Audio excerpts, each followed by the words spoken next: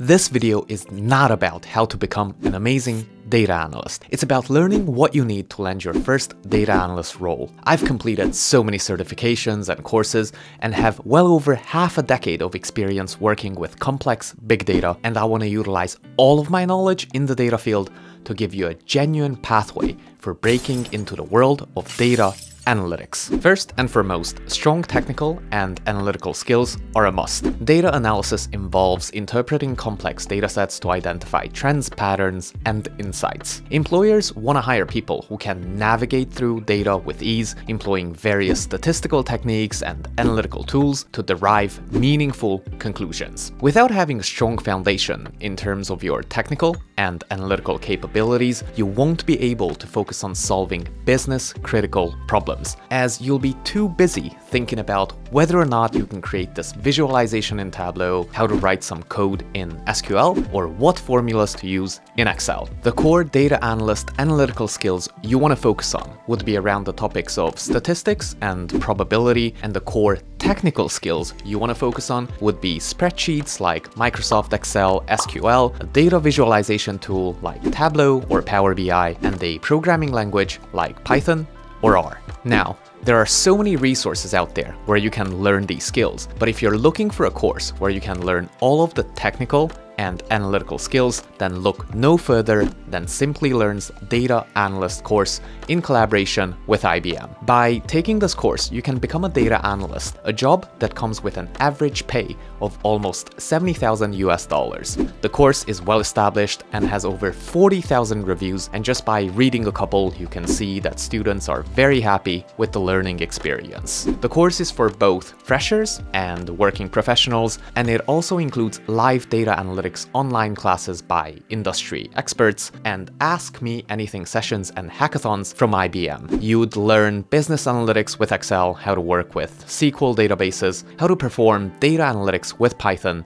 and even learn how to perform machine learning. You'd also learn R for data science and data analytics, and how to create meaningful visualizations in Tableau. And of course, you'd get to do your capstone project at the end to bring together and showcase everything you learned, not to mention the other 20 plus projects that you can also do. The Data Analyst course can be completed in 12 months if you dedicate a few hours daily to learning, and you'd get an industry-recognized Data Analyst Master's Certificate from Simplilearn at the end. Simplilearn also has courses in collaboration with leading universities such as Caltech, Purdue, Brown, and many others. So if you want to take a big step towards a career in data analytics, check out Simplilearn's Data Analyst, Data Science, and Business Analytics courses using the links in the description below and a big shout out to Simplilearn for sponsoring this video. So, I recommend starting with Excel and SQL. They're the most popular tools out there and mastering these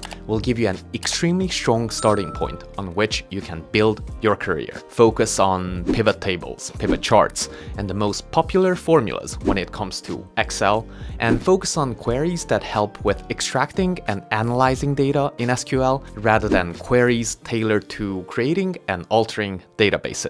As a beginner data analyst in the field, it's highly unlikely that you'll be asked to do data modeling and building databases and managing them. That's why I suggest you spend your time wisely and efficiently on data analysis queries. And just on the most popular Excel formulas and functions actually, I gather them into a single Excel file to make it easy for you to quickly reference, understand, and use them on a daily basis. I included real life examples and explanations to help you with actually applying the formulas in a business context. I'll leave the link in the description below in case you want to check it out. Now, as far as the programming languages go, Python is certainly my preference, but that does not mean that learning something else like R is useless. Python is a general programming language and you can do endless things with it. So if you do decide to learn Python, make sure you learn Python with a focus specifically on data analytics. So focus on the pandas, numpy, matplotlib, and seaborn libraries, and scipy and scikit-learn in case you're interested in machine learning. And last but not least, let's talk about the importance of data visualization and BI tools. Imagine you've already put in so much hard work extracting, cleaning, and transforming your data, but your end visuals look crap. You will struggle to get and retain people's attention, and ultimately struggle with getting your points across. This is why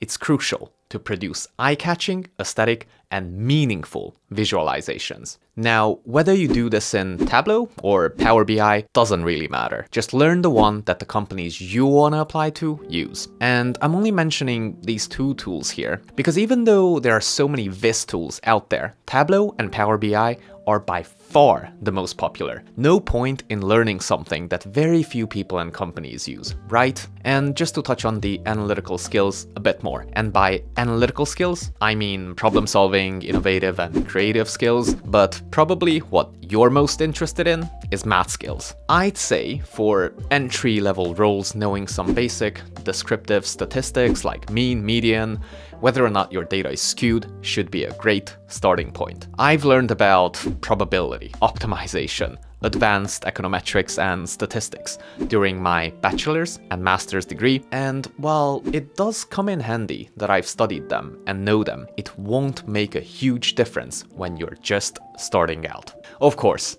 how much statistics and probability knowledge you need will always depend on the exact role, but a good rule of thumb would be the more data sciencey your role gets, the more math you'll need.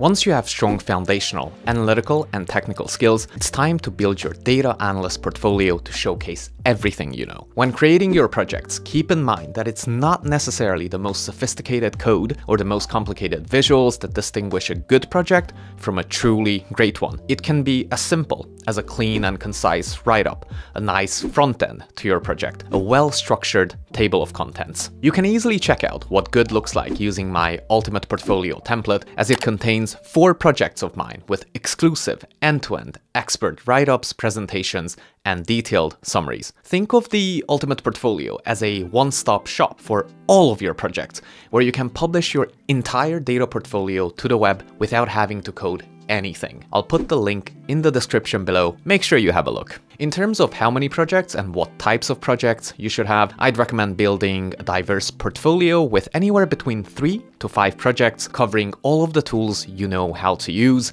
so tools like Excel, SQL, Python or R, and Tableau or Power BI, and projects covering various steps of the data analysis workflow such as extracting data, cleaning and manipulating data, visualizing data, and communicating your insights. I actually have a whole dedicated portfolio project playlist with end-to-end -end projects covering all of the mentioned tools and data analysis workflows. The videos walk you through step by step on how you can create an Excel dashboard, all the way from capturing your data through transforming your data to building your Excel dashboard or how to do exploratory data analysis or EDA in Python using the pandas library or natural language processing using the NLTK library and lots of other Tableau projects to produce amazing looking end visuals to really make your projects stand out. Not to mention a full SQL database tutorial, of course.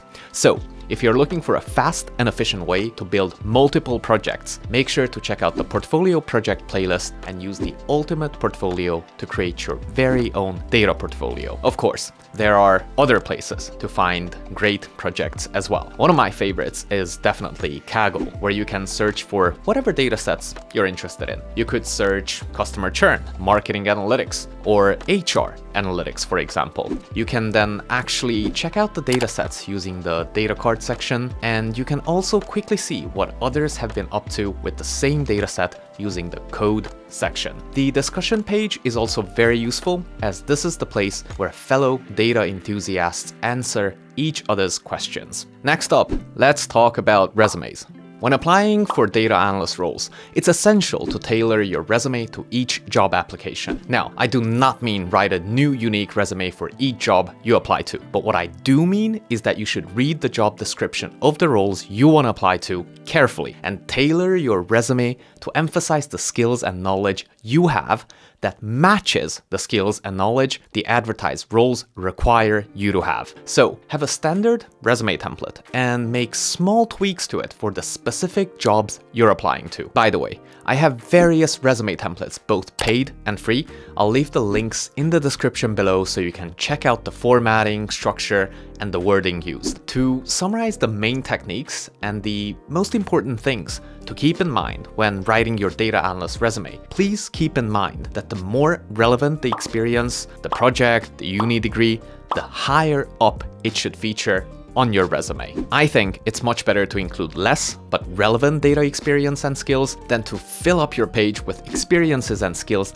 that have nothing to do with data. Say for example, you have some experience in industries and roles completely non-related to data, but you've completed many projects, have a strong portfolio, and also have some relevant certifications. Make sure you put your projects and your certificates at the top of your resume rather than your non-relevant experience. Also, make sure to include keywords that recruiters might look for, so keywords like Excel, Python, SQL, or Tableau, and make sure you focus on highlighting how you solve the specific problems using these tools. And this is a big one. A big mistake I see lots of people make when writing about their experiences. Don't just state what you did. Explain why you did what you did, how you came up with the solution, and what the benefit was of solving this problem. Think of the resume round as the quick elimination round in the job application process, as you'll never get hired straight after, but you can easily get rejected straight away. Your goal is to show recruiters that you have enough credibility, qualifications, and skills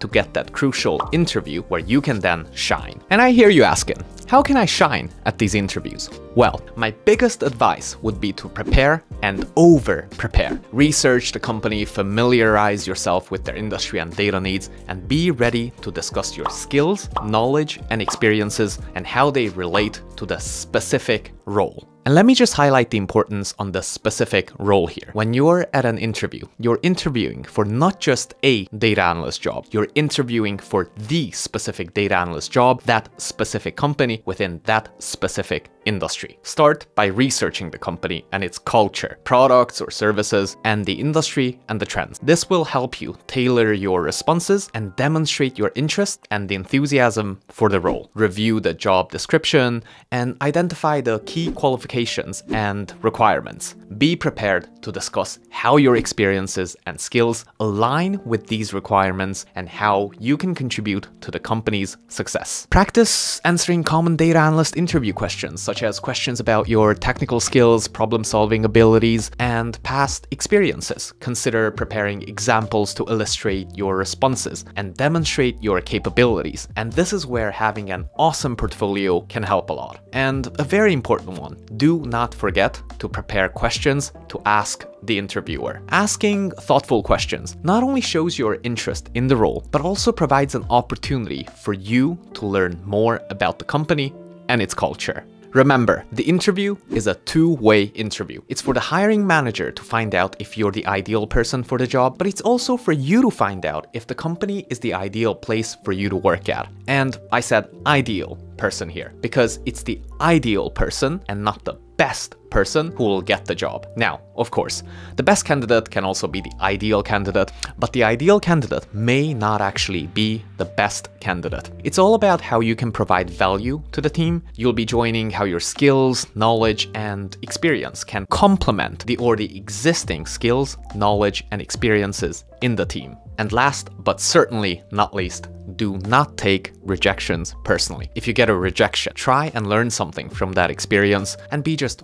1% better the next time. With all this said, getting your first role within the world of data analytics is not easy. In fact, it may be extremely difficult at times. I don't want to lie to you and say that by following the tips and advice I detailed in this video, you'll be guaranteed a data analyst job. But I am very confident that if you do follow these steps and keep on trying and learning, you will eventually get there. I want you to know that I got rejected hundreds of times throughout my career, and yet here I am still standing, breathing, and trying to live my best life. I want you to know that if I could do it, you can definitely do it too. I really hope you enjoy content like this, and if you do, make sure to check out some of my other videos right here. Thanks so much for taking some time out of your day to watch this, and I shall see you in the next one.